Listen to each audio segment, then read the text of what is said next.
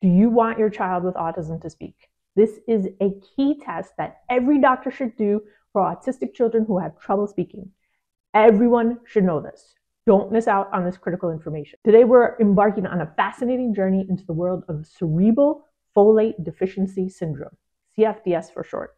It might sound like a mouthful, but don't worry, I will teach you the science in a fun way so that you know what to ask your doctor and why, because speech is important. All right, let's start out our adventure by understanding what CFDS really is. So imagine our brains. They're this super cool amusement park. And inside, there's this special brain juice called cerebral spinal fluid that everyone at the park loves. But sometimes in CFDS, in the deficit, the levels of an important ingredient in this brain juice called folate are low. Why? Well, it's because of some sneaky antibodies called serum folate receptor alpha autoantibodies.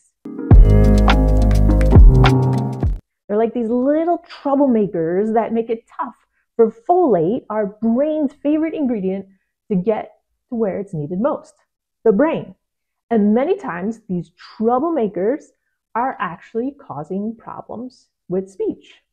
And these troublemakers, they're sneaky troublemakers. If you run a folate blood test, the levels might appear normal.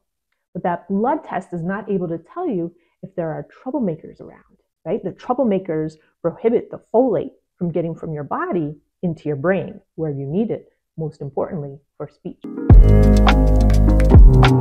Ever do tests for your autistic child and everything just comes back normal? Remember, troublemakers make it tough to get the folate into our brains.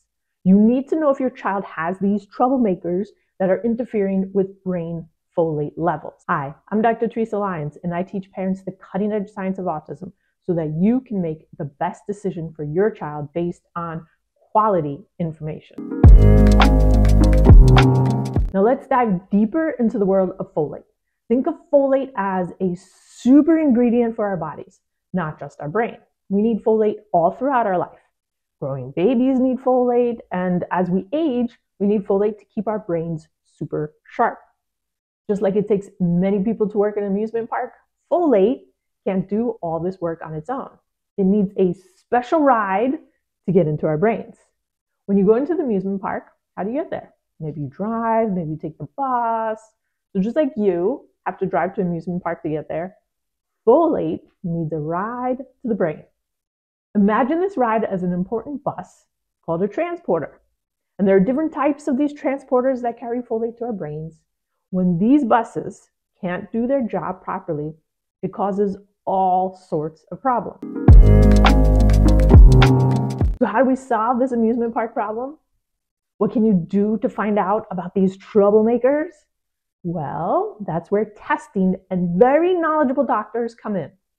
Have you done a FRAT test for your child? Not sure? Okay, go right now and ask your doctor to order a FRAT test for your child. If they don't know what the FRAT test is, get a different doctor. If they tell you it's not necessary, next. Go find a better doctor. Please share this video with anyone in your life that is touched with autism. This is cutting edge research, and not every doctor stays up to date with autism research.